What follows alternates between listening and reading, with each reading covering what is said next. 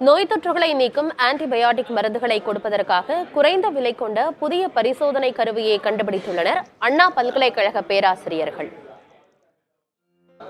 Corona காலத்தில் நோய் தொற்று மருந்துகளை அதிகளவு உட்கொண்டதால் பக்க விளைவுகள் ஏற்பட்டு வருவதாக மூத்த விஞ்ஞானி சௌமியா சுவாமிநாதன் எச்சரிக்கை விடுத்திருந்தார். நமது உடலில் ஏற்பட்டுள்ள பாக்டீரியா தொற்றிற்கு ஏற்ற ஆன்டிபயாட்டிக் மருந்துகளை கொடுப்பதற்கு பரிசோதனை செய்வது அவசியம்.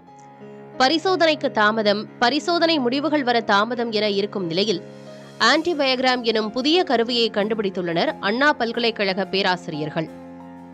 பேராசிரியர் சங்கரன் தலைமையிலான குழுவினர் இணைந்து பல்வேறு ஆய்வுகளுக்கு பிறகு இந்த கருவியை உருவாக்கியுள்ளனர். மல்டிட்ரக் ரெசிஸ்டன்ஸ் ஸ்க்ரீனிங்க்கு வர. அது என்னென்னா இப்போ வந்து இந்த மெத்தட் இருக்கிறதுனால இது ரொம்ப சிம்பிளாக இருக்கிறதுனால நம்ம வந்து என்வைரன்மெண்டல் ஹாஸ்பிட்டல் மற்ற சாம்பிள்ஸ் எல்லாம் எடுத்து அதில் வந்து என்னென்ன பாக்டீரியா எவ்வளோ ஆன்டிபயோட்டிக் ரெசிஸ்டன்ஸாக இருக்குங்கிறது பார்க்கலாம். அதுவும் சோதனை செய்யப்பட்டு ஆறு மணி நேரத்திற்குள்ளாக முடிவுகள் துல்லியமாக வருவதால் நோயாளிக்கு சரியான நேரத்தில் சரியான மருந்து கொடுக்கப்படுவதாக தெரிவிக்கிறார் கருவியை உருவாக்கிய பேராசிரியர் சங்கரன். ஏற்கனவே கண்டறியப்பட்ட சோதனை கருவிகள் அதிக எடையோடும் நிபுணர்களால் மட்டுமே இயக்கக்கூடிய அளவிற்கு இருந்த நிலையில் தற்போது அண்ணா பல்கலைக்கழக பேராசிரியர்கள் கண்டறிந்துள்ள ஆன்டிபயோகிராம் கருவி. நிபுணத்துவம் இல்லாதவர்களும் கையாளும் வகையில் எளிமையாக வடிவமைக்கப்பட்டுள்ளது. இரண்டு வருடங்களுக்கு முன்பே இவை கண்டறியப்பட்டாலும் இரண்டு காப்புரிமைகள் தற்போதுதான் கிடைத்துள்ளன.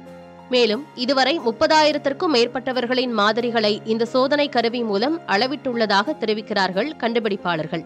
நீலம் மற்றும் பச்சை நிற ஒளியின் மூலம் நுண்ணுயிர்கள் குறித்து கண்டறியப்படுகிறது. ப்ளூ லைட் கொடுக்குறோன்னு வைங்களேன். அந்த ப்ளூ லைட் எடுத்துட்டு அது க்ரீன் லைட்டை எமிட் பண்ணும். அதுதான் ஃப்ளூரசன்ஸ் ஒரு ஒரு வேவ் லெங்த்தில் லைட் எடுத்து இன்னொரு வேவ் லென்த்து ஹையர் வேவ் லென்த்தில் ரிலீஸ் பண்ணணும். ஸோ ப்ளூ வந்து க்ரீன் ஆகும். இது எங்களுக்கு வந்து சிக்னல் சரியா? அந்த ஃப்ளூரசன் காம்பவுண்ட் இருக்குதுன்னு இப்போ பாக்டீரியா க்ரோ ஆகும்போது அந்த காம்பவுண்டு டோக்கசனமைடு வரதுனால இது கொஞ்சம் ஆகிடும் ஆன்டிபயோகிராம் கருவியின் விலை ஒரு லட்சம் ரூபாய் வரை மட்டுமே இருப்பதால் ஆரம்ப சுகாதார நிலையங்களுக்கு அதிக அளவில் வழங்குவதற்கு திட்டமிடப்பட்டுள்ளது. பொதுவாக பல லட்சம் செலவாகும் பாக்டீரியா ஆய்வு கருவிகளுக்கு பதிலாக அண்ணா பல்கலைக்கழக பேராசிரியர்கள் கண்டுபிடித்துள்ள இந்த கருவி சில லட்சமே செலவாவதன் காரணமாக அரசு மருத்துவமனைகளிலும் பரவலாக பயன்படுத்த முடியும் என நம்பிக்கை தெரிவிக்கப்படுகிறது. புதிய தலைமுறைக்காக ஒளிப்பதிவாளர் நரேஷுடன் செய்தியாளர் பாலவெற்றிவேல் நவநீத கிருஷ்ணன்.